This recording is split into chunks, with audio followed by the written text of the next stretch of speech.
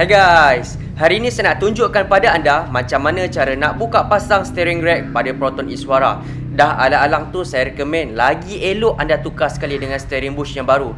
Barulah steering tu jadi fit. Tegak je. Kat sini kita juga ada inner and outer tyro end serta steering rack boot. Ke semua komponen ni saya pakai brand Mountain King sebab harga dia rakyat marhen. Sangat berpatutan lepas tu kualiti pun boleh tahan lama. Berbaluilah dengan apa yang anda bayar. Paling best sekali brand Mountain King ni dia datang dengan satu tahun waranti. Contoh kalau ada defect ke apa ke, SOP nak claim waranti tu cukup amat senang. Alright, so jom kita start. First of all, kita buka dulu tayar kiri kanan. Saya pakai M12 Tabi. Best tau sebab dia ringan. Lepas tu kat bawah ni ada satu safety pin kita kena cabut. Anda bend je kaki dia bagi straight and then tarik pakai pelayar muncung tirus. Bila pin dah cabut, barulah buka castle nut size 17 bawah ni. Saya pakai extended ratchet. Senang kerja. Next step, kita kena pisahkan antara tyro end dengan knuckle. Kebiasaannya tyro end ni tak senang keluar. Caranya, anda ambil hammer, ketuk kuat-kuat dekat knuckle ni beberapa kali sampai tyro end tu bebas. Tapi kalau saya pumpang-pumpang, takut kacau pula jiran. So kita guna right tools for the right job iaitu ball joint separator. Cara pakai dia simple je, anda kepit macam ni, pastikan dia masuk bagi habis, lepas tu ratchet je macam biasa. Tapi sebelum tu, lagi elok kalau anda lubricate dulu thread dia dekat sini. Saya pakai Q Plus spray grease sebab dia mengandungi metal conditioner. Kalau anda baca dekat belakang tin ni, dia sesuai untuk spray steel to steel tak pun plastic to steel. Tujuan kita spray ni sebab kita nak rasa ringan je masa pulas nanti. Lepas tu tools pun tak cepat rosak. Hai, 100 lebih jugalah kalau separator ni kalau anda nak beli. So jagalah tools anda elok-elok. Bila dah spray, kita pulas manual je pakai ratchet slow-slow sampai dia pop up. Alright, keluarkan tools, kemudian pisahkan tyro end dari knuckle. Okey, cantik. Sebelum ganti barang baru, mesti anda tertanya kan kenapa saya tukar dan apa simptom bad steering rack.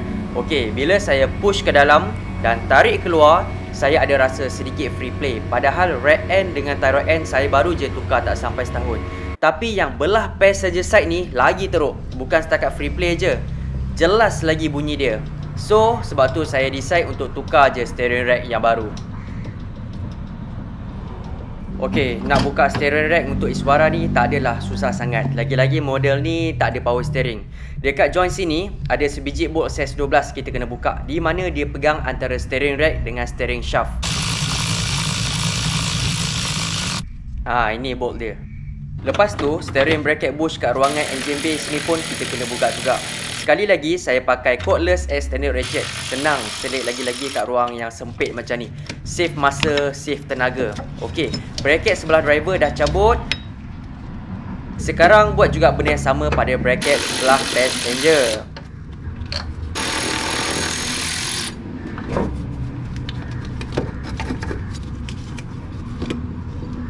Keluarkan terus dia punya steering bush. Sebelah sini pun sama. Sekarang steering rack dah berada dalam keadaan yang free. Alright, nice. Lepas tu anda sentak-sentak lah sikit kasih dia terlepas dari shaft tu. Alright, akhirnya kita dah boleh keluarkan steering rack. Untuk kereta ni senang lah, keluar ikut tepi je. Ada kereta keluar ikut atas pun ada. Lagi payah tu. Okey, ngam.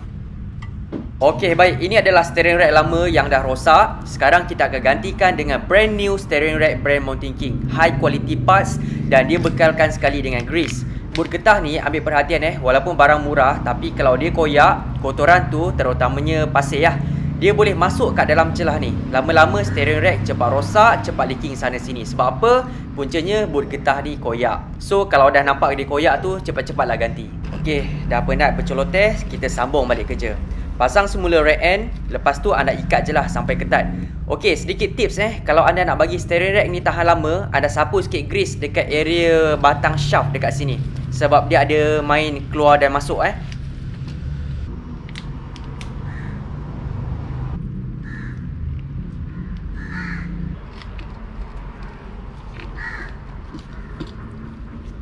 Uh, sebelah dekat sini pun sama.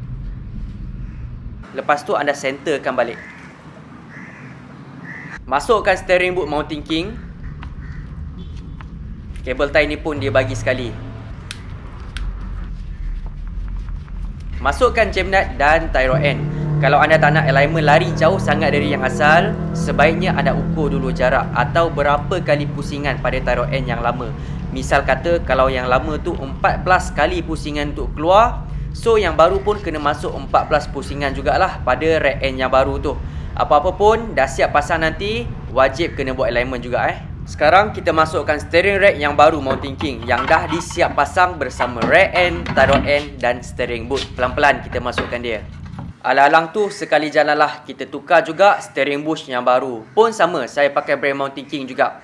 Yang ni bush lama nampak tak alur dia dah haus. Makin nipis. Bila nipis bush tu dia pegang steering rack tu dia dah tak kemas. Dia dah tak fit. Sebab tu steering masa kita tengah bawa kereta akan ada rasa sikit dia gerak ke kiri dan dia akan gerak ke kanan. Puncanya sebab bush ni lah. Yang ni bush baru di mana alur dia lagi tebal bila kita dah pasang semestinya dia punya grip, dia punya cengkaman tu akan lebih fit lah. Hasilnya steering pun rasa kemas. Tegak je ke depan. Bush belah passenger ni pun sama. Cuma yang lama ni dia punya lubang dah makin besar. So akan ada berlaku sikit uh, kelonggaran dekat situ.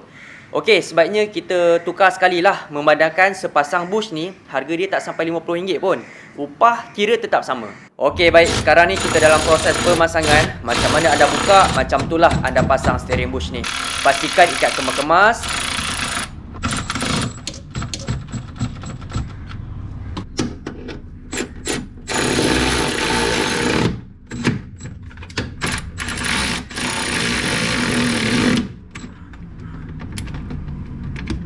Lepas tu jangan lupa ada lagi satu bolt size 12 ni pun anda kena kemaskan juga. Okey, terbaik.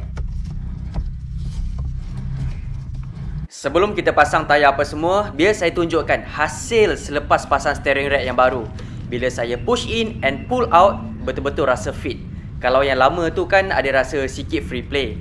Yang ni betul-betul tegap ya rasa. Sekali lagi, ini adalah sebelum tukar pada sebelah passenger Dan ini adalah hasil selepas tukar. Terus hilang bunyi dia. Lagi rasa fit, lagi rasa ketat. Jangan lupa eh, apa-apa pun anda kena adjust balik alignment, barulah hasil dia tu terbaik. Bila confirm masalah dah settle apa semua, sekarang kita masukkan semula tie rod end ke kenaka. Lepas tu ikatlah macam biasa sampai ketat.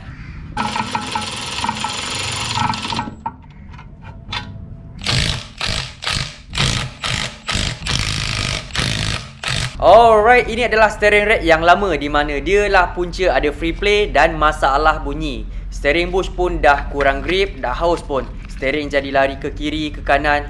Macam biasa, semua ni saya pakai brand Mountain King sebab harga dia pun tak adalah mahal sangat. Kualiti pun kena dengan harga, siap ada waranti lagi setahun tak silap saya. Okeylah, semoga video ni bermanfaat. Kita jumpa lagi dalam video DIY seterusnya.